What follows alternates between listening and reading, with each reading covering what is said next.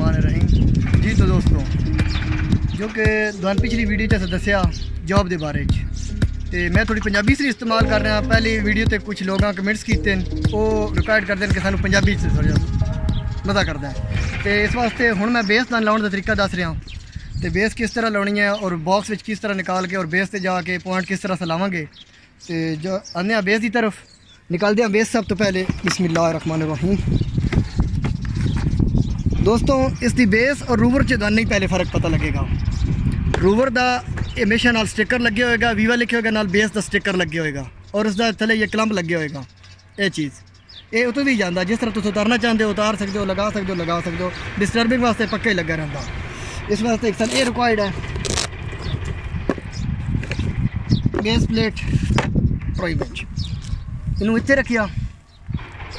ਇਸ ਚੀਜ਼ ਨੂੰ ਇਧਰ ਦੇਖੋ। ਇਸ ਦੇ ਉੱਤੇ ਰੱਖ ਕੇ ਇਸ ਤਰ੍ਹਾਂ ਦਾ ਇਹਦਾ ਲਾਗ ਲੱਗਿਆ। ਇਸ ਲਾਗ ਨੂੰ ਜਿਉਂ ਹੀ ਤੁਸੀਂ ਮੂਵ ਕਰਸੋ, ਇਸ ਨੂੰ ਪਕੜ ਲੈ ਸੀ। ਆਓ ਬismillah ਸਭ ਤੋਂ ਪਹਿਲੇ ਟ੍ਰਾਈਪਾਡ ਨੂੰ ਆਪਣੀ ਹਾਈਟ ਦੇ ਬਰਾਬਰ ਖੋਲੋ ਜੋ ਕਿ ਤੁਹਾਨੂੰ ਆਸਾਨੀ ਨਾਲ ਬਬਲ ਨਜ਼ਰ ਆ ਜਾਵੇ। ਥੱਲੇ ਇਸ ਦਾ ਸਕਰੂ ਲੱਗਿਆ। ਇਸ ਸਕਰੂ ਨੂੰ ਤੁਸੀਂ ਇਹ ਸਾਹਮਣੇ ਸਕਰੂ ਹੈ। ਇਸ ਨੂੰ ਜਿਉਂ ਹੀ ਤੁਸੀਂ ਉੱਤੇ ਰੱਖੋ ਸੈਂਟਰ 'ਚ ਰੱਖ ਕੇ ਤਕਰੀਬਨ ਪਲੇਟ ਦੇ ਸੈਂਟਰ ਜੋ ਹੋਵੇ ਤੁਹਾਨੂੰ ਆਈਡੀਆ ਹੋਵੇ ਬੱਚੋਂ ਨੂੰ ਪਾਸੇ ਹੱਥ ਰੱਖ ਕੇ ਦੇਖ ਕੇ ਤੇ ਉਸਨੂੰ ਟਾਈਟ ਕਰ ਲੈ ਸੋ ਹਮੇਸ਼ਾ ਜੋ ਬਬਲ ਹੈ, ਇਹ ਹਮੇਸ਼ਾ ਦੋ ਲੈਗਸ ਨਾਲ ਹੁੰਦੀ ਹੈ ਜੀਪੀਐਸ ਦੀ। ਥੱਲੇ ਪਾਉਂ ਰੱਖੋ, ਉਸ ਨੁਕਤੇ ਦੇ ਨਾਲ ਸਾਹਮਣੇ ਆਪਣੇ ਪਾਉਂ ਦਾ ਜ਼ਾਵੀਆ ਕਰਨਾ ਰੱਖੋ ਤੇ ਤੁਹਾਨੂੰ ਪਤਾ ਚੱਲ ਜਾ ਜਾਸੀ ਤੇ ਫਿਰ ਉਸ ਤੋਂ ਬਾਅਦ ਤੁਸੀਂ ਇਸ ਦੇ ਵਿੱਚੋਂ ਨਜ਼ਰ ਕਰੋ। ਤੁਸੀਂ ਇੱਥੇ ਆ ਜਾਓ, ਸਾਹਮਣੇ ਤਾਂ ਨਜ਼ਰ ਆਸੀ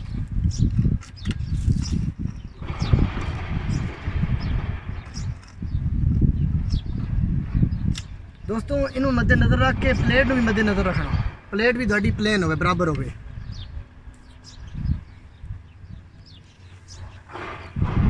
ਜੋ ਕਿ ਹੁਣ ਦੇਖੋ, ਬਬਲ ਗਰੀਬ ਤਰੀਨ ਹੈ। ਇਸ ਸਕਰੀਨ ਥੋੜਾ ਸਾ ਤੁਸੀਂ ਉੱਤੇ ਕਰ ਲਿਓ।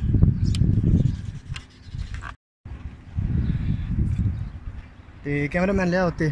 ਦੇਖੋ, ਬਬਲ ਬਿਲਕੁਲ ਕਰੀਬ ਤਰੀਨ ਹੈ। ਇਹ ਸਕਰੀਨ ਯਾ ਥੋੜਾ ਜਿਹਾ ਦੂਨ ਟੋਟਲ ਦੀ ਤਰ੍ਹਾਂ ਬਾਹਰ ਘੁਮਾਣਾ ਚਾਹੀਦਾ ਥੋੜਾ ਜਿਹਾ ਅੰਦਰ ਕਰਨਾ। ਤੇ ਇਸ ਦੇ ਵਿੱਚ ਵੀ ਕੈਮਰਾ ਰੱਖ ਨੂੰ। ਬਿਲਕੁਲ ਬਬਲ ਹੈ ਸਾਡੀ। ਮੀਆਂ ਮੀਆਂ ਜ਼ੀਰੋ ਹੋ ਗਈ। ਬੇਸ ਟਰਾਈ ਵਿੱਚ ਸਾਡੀ ਰਹਿ ਗਈ ਹੈ ਹੁਣ ਉੱਤੇ ਬੇਸ ਨੂੰ ਰੱਖਣੀ ਹੈ ਬੇਸ ਲੈ ਆਵਾਂ।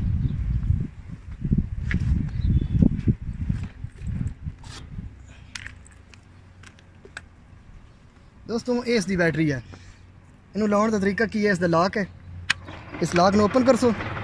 ਔਰ ਇਸ ਦੀ ਲੈਗ ਛੋਟੀ ਜਿਹੀ ਬਣੀ ਹੈ ਇਸ ਸਪੇਸ ਬਣੀ ਹੈ ਜਗ੍ਹਾ ਬਣੀ ਹੈ ਇਹਨੂੰ ਇਸ ਵਿੱਚ ਰੱਖ ਕੇ एक क्लिक की आवाज़ आएगी और बैटरी बैटरी रेडी होगी जो ही रखसो अंदर रखी इस लाग ਨੂੰ ਦੁਬਾਰਾ ਲਾਗ ਮਜ਼ਬੂਤੀ ਨਾਲ ਲਾਣਾ ਬੈਟਰੀ ਅਕਸਰ ਇਹ ਗਿਰ ਜਾਂਦੀ ਹੈ ਜਾਂ ਲੂਜ਼ ਹੋ ਜਾਂਦੀ ਹੈ ਇਸ ਵਜ੍ਹਾ ਤੋਂ ਲਾਗ ਇਹਨੂੰ ਲਾਗ ਕੀਤਾ ਲਾਗ ਕਰਨ ਤੋਂ ਪਹਿਲੇ ਇਹ ਤੁਹਾਡਾ ਇੱਕ ਬਟਨ ਹੈ ਆਨ ਆਫ ਵਾਲਾ ਇਸ ਨੂੰ ਤੁਸੀਂ ਆਨ ਕਰੋ ਥੋੜੀ ਦੇਰ ਪੈਸੇ ਤਕਰੀਬਨ 4 ਸੈਕਿੰਡ ਪ੍ਰੈਸ ਕਰਸੋ ਥੱਲੇ ਉਸਦੀ ਲਾਈਟ ਸ਼ੋ ਕਰ ਜਾਸੀ ਕਿ ਆਨ ਹੋ ਗਈ ਹੈ ਹੁਣ ਇਸ ਨੂੰ ਇਸ ਦੇ ਉੱਤੇ ਜਾ ਕੇ ਇਸ ਚੂੜੀਦਾਰ ਇਸ ਨੂੰ ਬਸ ਸਮ ਜੀਪੀਐਸ ਇੰਜਨਾਂ ਦੀ ਕਲਿੱਕ ਤੇ ਲਾਕ ਸਿਸਟਮ ਹੈ। ਇਸ ਦਾ ਚੂੜੀਦਾਰ ਸਿਸਟਮ ਹੈ। ਜੋ ਲੇਟੈਸਟ ਮਾਡਲ ਆਇਆ ਉਹਨਾਂ ਦੇ ਇਹ ਚੂੜੀ ਨਹੀਂ, ਉਹਨਾਂ ਦੇ ਲਾਕ ਵਾਲਾ ਸਿਸਟਮ ਰੱਖ ਕੇ ਤੇ ਲਾ ਕੇ ਤੇ ਲਾਕ ਕਰਨਾ ਹੁੰਦਾ ਹੈ।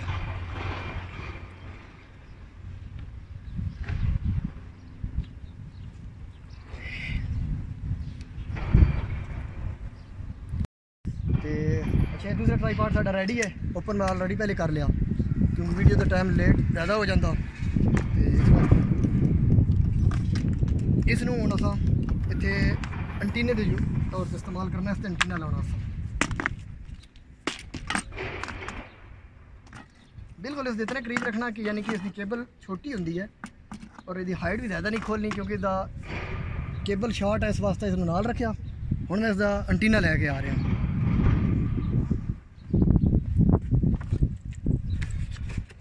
ਅੰਟੀਨੇ ਵਾਸਤੇ ਸਾਨੂੰ ਕੀ ਕੀ ਚੀਜ਼ ਰਿਕੁਆਇਰਡ ਹੈ? ਅੰਟੀਨੇ ਵਾਸਤੇ ਸਾਨੂੰ ਇੱਕ ਅੰਟੀਨਾ ਇੱਕ ਕਲੰਪ, ਕੇਬਲ ਔਰ ਏਰੀਅਲ। ਇਹ ਚਾਰ ਚੀਜ਼ਾਂ ਸਾਨੂੰ ਰਿਕੁਆਇਰਡ ਹਨ ਨਾਲ ਲਾਉਣ ਦਾ ਤਰੀਕਾ ਕੀ ਹੈ? ਸਭ ਤੋਂ ਪਹਿਲੇ ਇਸ ਦਾ ਇੱਕ ਕਲੰਪ ਹੈ ਛੋਟਾ ਜਿਹਾ। ਇਸ ਕਲੰਪ ਨੂੰ ਇਸ ਚੂੜੀ ਉੱਤੇ ਲਾਉਣਾ। ਬਹੁਤ ਸਿੰਪਲ ਔਰ ਬਹੁਤ ਸਾਦਾ ਪੰਜਾਬੀ ਤਰੀਕੇ ਨਾਲ ਜਿਸ ਤਰ੍ਹਾਂ ਲੱਗਦੀ ਹੈ ਇਹ ਚੀਜ਼।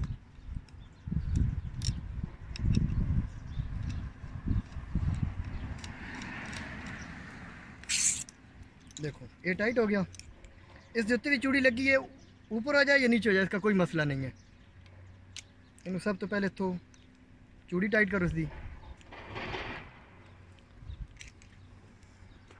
ਇਸ ਦੇ ਥੱਲੇ ਕੇਬਲ ਲਾਉਣ ਦੀ ਜਗ੍ਹਾ ਇਹ ਥੱਲੇ ਕੇਬਲ ਐਡਜਸਟ ਕਰੋ ਇਹਨੂੰ ਚੂੜੀ ਲਾਓ ਉਸ ਦੀ फिर दोस्तों इन्हें मजबूती ना पकड़ो खोलो जो ही आपको रेड नज़र आ जाएगा इसमें थोड़ा जैसा टाइट कर दो बस ये टाइट हो जाएगा इसी तरह इसका तीसरा पोर्शन भी नीचे खुलेगा। तो।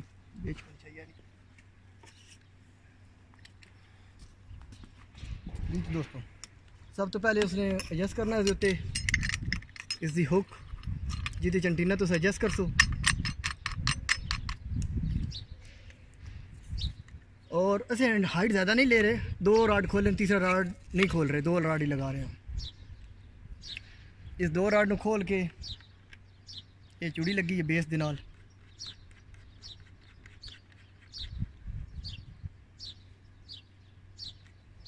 ਜੀ ਤਾਂ ਦੋਸਤੋ, ਸਾਡਾ ਤਕਰੀਬਨ ਬੇਸ ਦਾ ਸੈਟਅਪ ਜੋ ਹੋ ਗਿਆ, ਹੁਣ ਕੰਟਰੋਲਰ ਚੋਂ ਕਿਸ ਤਰ੍ਹਾਂ ਇਸਨੂੰ ਓਪਨ ਕਰਨਾ, ਉਹ ਵੇਖਣ ਵਾਸਤੇ ਤੁਹਾਨੂੰ ਅਗਲੀ ਵੀਡੀਓ ਓਪਨ ਕਰਨੀ ਪਊਗੀ ਅਗਲੀ ਵੀਡੀਓ ਜਾਓ ਤੇ ਪੇਜ ਨੂੰ ਜ਼ਰੂਰ ਸ਼ੇਅਰ ਕਰੋ ਤਾਂ ਕਿ ਦੂਸਰੇ ਵੀਰਾਂ ਨੂੰ ਇਹਦੇ ਬਾਰੇ ਚ ਇਨਫੋਰਮੇਸ਼ਨ ਆਵੇ। ਰਿਲੇਟਡ ਜੋ ਵੀ ਜੋਬ ਦੇ ਰਿਲੇਟਡ ਕੰਮ ਕਰਦੇ ਨੇ, ਉਹਨਾਂ ਨੂੰ ਕੁਝ ਇਨਫੋਰਮੇਸ਼ਨ ਮਿਲ ਸੀ। ਤੇ ਵਸਲਾਮ